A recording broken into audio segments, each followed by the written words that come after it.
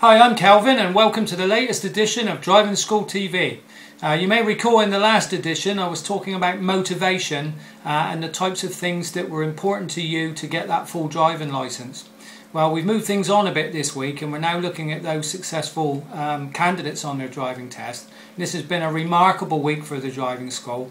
And we've actually had eight first time passes in just four days. So it just goes to show that if you do motivate yourself, uh, you will get there in the end.